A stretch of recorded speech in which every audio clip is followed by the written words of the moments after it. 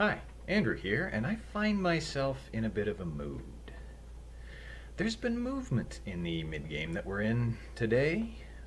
News about uh, border crossings. Uh, another uh, Liberal parliamentarian has joined Joel Lightfoot in coming out against blackface's policies. Uh, a supercut of international uh, newsreaders ridiculing blackface. But while I might go on a, an amusing rant about that, I can't. Because CTV News, one of the bought and paid for whores of the Canadian press, spewing Trudeau's propaganda, scrounged up some experts to come out and say there are people who might have anxiety issues with reopening. Really? Anxiety mm. issues about reopening.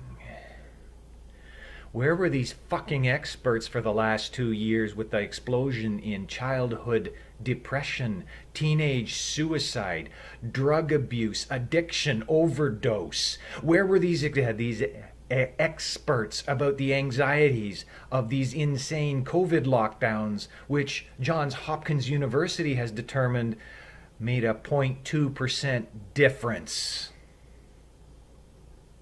Oh, you're anxious about reopening, are you? If only there was a way you could avoid partaking in the reopening.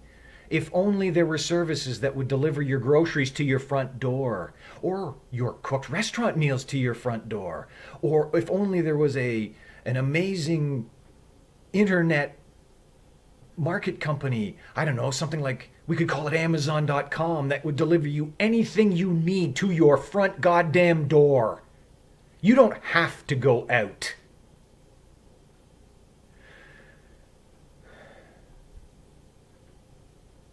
Two years ago, pardon me, one year ago this Saturday, I stood 10 feet across this room right over there.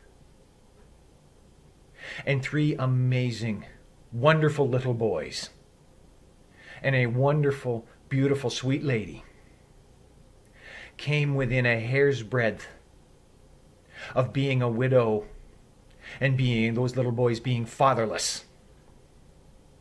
I hit a despair that I've never hit before. And I barely clawed out of it. You're anxious about going into the big world when you're allowed to stay home? Cry me a fucking river. When I needed to go out in the big world to keep me out of that pit, where were you? Where were you saying, men, women, children, youth with mental health and depression problems, you need to be out. We need to not we need to know your pain. Who felt mine?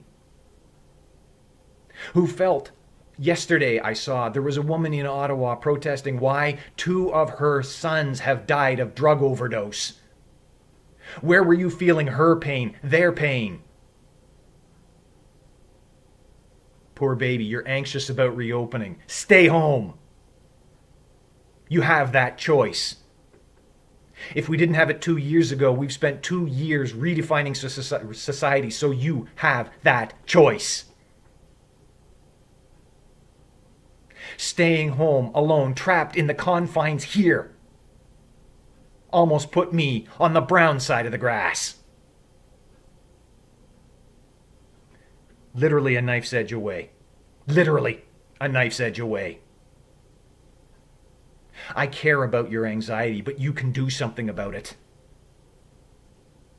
When everyone, from the Prime Minister down, tells me I will be locked down in my house, and there's nothing I can do about it, what do I do?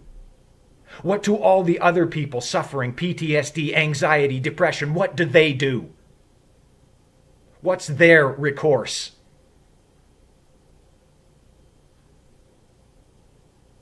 Open up. And if you don't want to open up, don't open up. Here's a little tidbit for you, a little food for thought. Lockdowns are for prisons, not for free people in a free society, not for schools. Lockdowns are for prisons and prisoners. I've said it many times in these videos.